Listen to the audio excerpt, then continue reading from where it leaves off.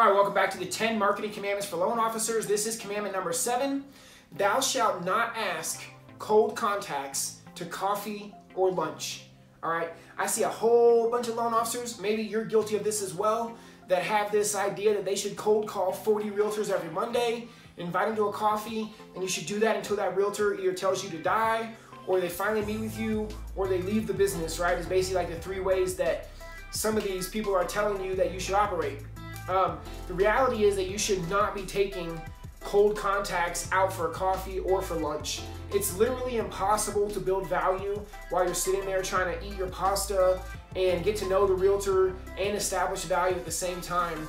A much better system is to have an event or do something where you can establish value with that realtor up front.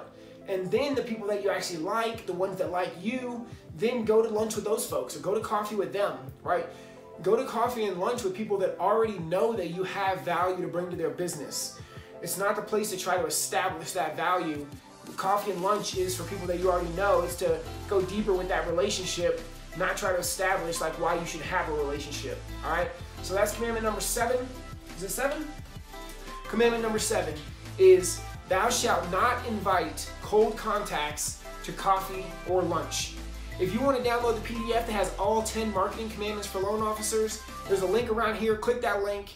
You're going to go to another page, opt in with your email. You'll get the PDF and some other bonuses right away. And be on the lookout for the rest of the series around the 10 marketing commandments for loan officers.